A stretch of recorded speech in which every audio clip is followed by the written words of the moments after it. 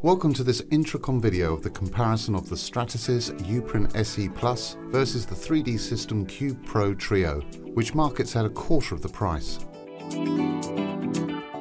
During the comparison we will not look into detailed specifications of speeds and feeds, but compare and look at different aspects with regard to real-world usability.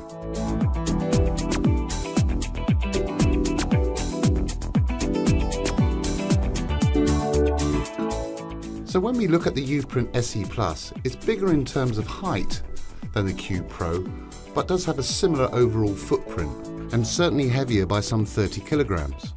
Our experience on general hands-on, this can be put down to a clearly more robustly constructed design, especially in terms of the attention to the fully sealed and controlled heated chamber.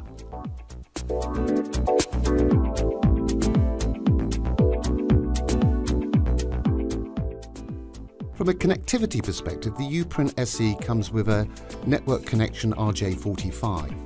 But also of note is within the device is the print server, with the ability to spool jobs as well as manage the print queue. It is also clear by the addition of the uninterruptible power supply that great consideration has been given to ensuring safe shutdown in the event of power outage. The Uprint comes standard with one tray made up of two loading bays, one for the model material and the second for the soluble support material. There is an option for a second tray which effectively doubles that capacity and the second tray will auto switch ensuring no interruption in the printing process. The Cube Pro features a small touchscreen panel and has a modern and aesthetically appealing look and feel. Dimensionally, as mentioned before, similar in footprint but certainly smaller in height than the Uprint SE. Connectivity wise, the Cube Pro has wireless, a USB host port for a USB stick, and a USB device port for a dedicated printer connection. The build chamber size is slightly bigger, as I mentioned, than the Uprint SE, although some restrictions in the x-axis are due to the design of the three nozzles is quite evident. Let's look at the real-life usability, loading of the material. The Uprint has a spool with a silica gel insert and is fully air sealed and enclosed in a cassette, ensuring no moisture is absorbed into the ABS material. A sensor detects filament usage as well as encoded to detect colour and the material type.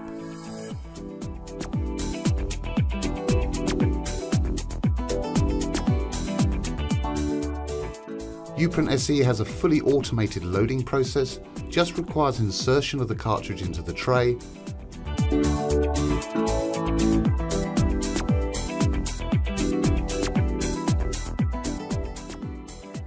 and then a single press of a button to load.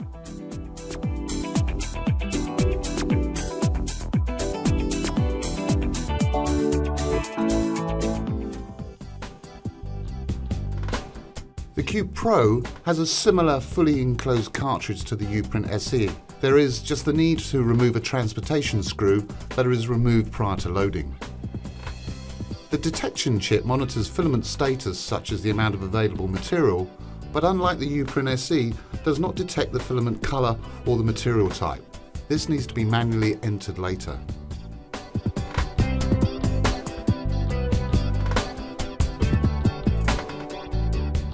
Loading the cartridge is a completely manual process with the Cube Pro in terms of feeding the material all the way until the nozzle or jet grabs the filament.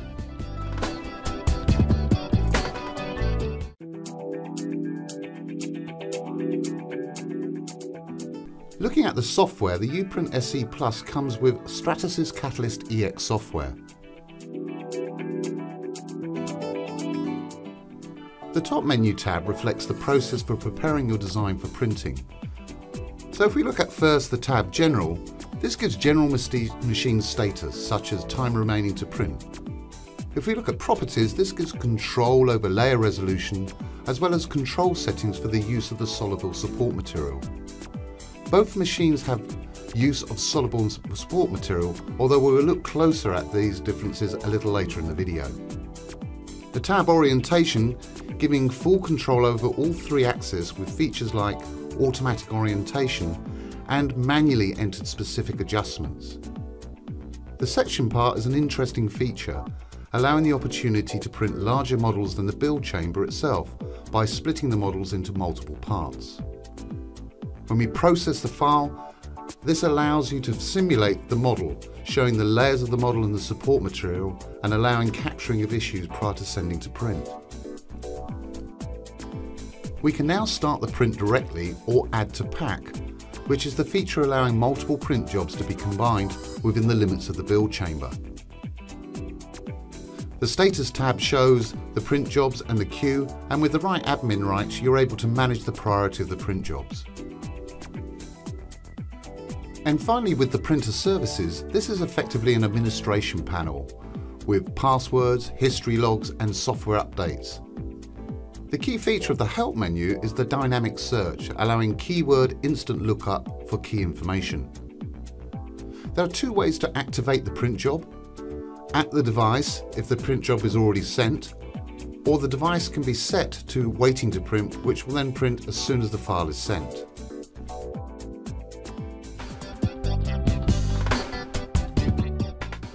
Looking at the 3D Systems Cube Pro Trio software, the printed configuration shows that it has three print jets or nozzles, as well as the ability to use ABS and PLA materials, and clearly has a wider range of colours than the Uprint SE Plus. Note that the Cube Pro uses PLA material as support as opposed to specific special support material with the Uprint SE. It's also worth noting that the Cube Pro has a pop-up caution when using PLA and ABS combinations for the model, suggesting a lower print quality if you're going to combine both material types, and then also suggesting a better quality just by selecting one material type, such as ABS or PLA.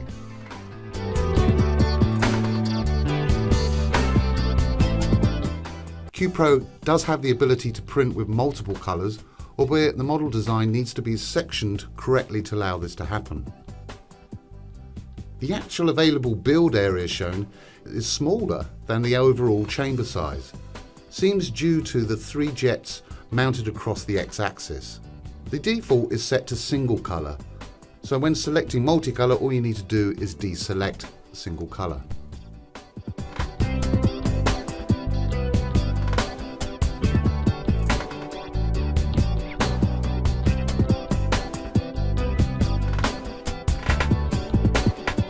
When you select Build, it goes to a far richer range of settings than is available on the Uprint SE.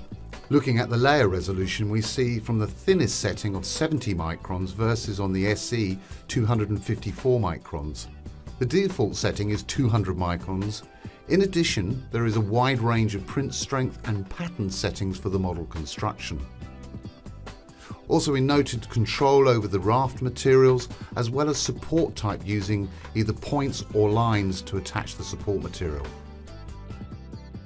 Advanced settings gives even a finer level of control in terms of the layers and the finishing options available to you.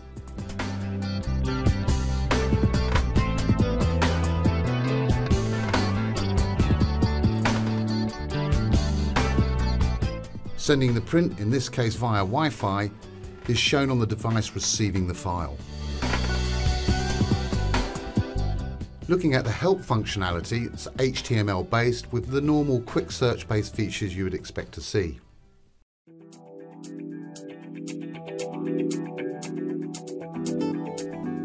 The print job starts by laying down a few layers of soluble support material as base is fixed to the tray and then applies model material and soluble material as defined in the print job.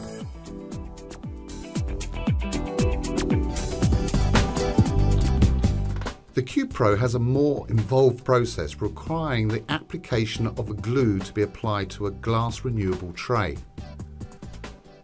It's recommended that the application of two glue layers are used, covering the area size needed to support the model size.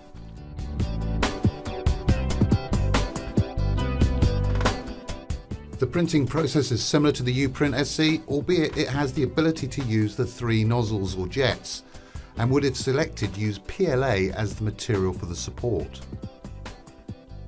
The Cube Pro does have a heated chamber, but it's not anywhere near as sealed as we'd seen on the Uprint SE, And as we can see accessing easily from the top here looking directly at the three jets mounted across the x-axis. So let's look at the post-processing with the Uprint SE Plus. There are differences here to note.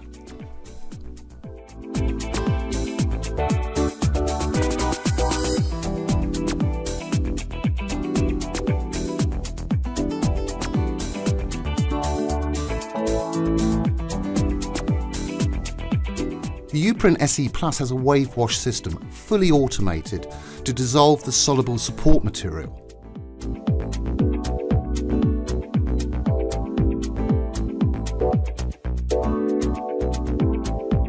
It then will go into a rinse cycle and drain the fluid down into a standard drainage system. This allows you then to take your part out, which is then completely ready for use with no other post-processing requirements needed.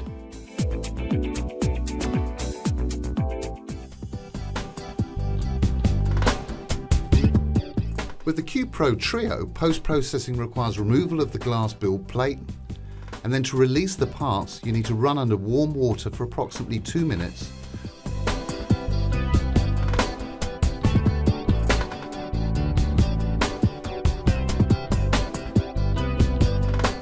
peeling by hand and using the scraper to ensure the model is removed as well as all the support material is removed from the plate.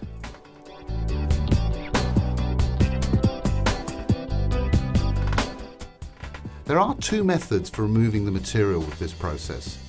You can use it just with warm water and then allow that to heat up to 80 degrees centigrade and leave it for approximately two days.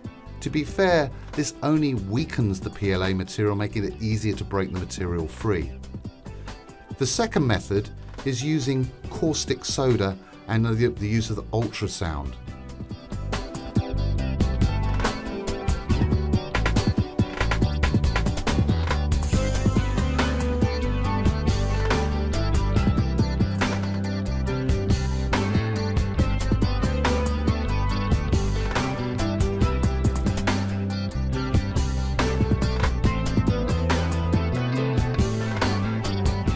The bath is set at 60 degrees C and with the ultrasound that effectively manages it around about 80 degrees C. It is important that the room is well vented and protective gloves are used as the caustic liquid may burn bare skin as well as the vapour can be harmful. This method has similar times in terms of the Uprint SE, quoting around about 3 hours for the part to have the support material removed. Once that time is up, it's important that the caustic soda solution is thoroughly rinsed under a running tap for approximately two, two minutes prior to actually using the part.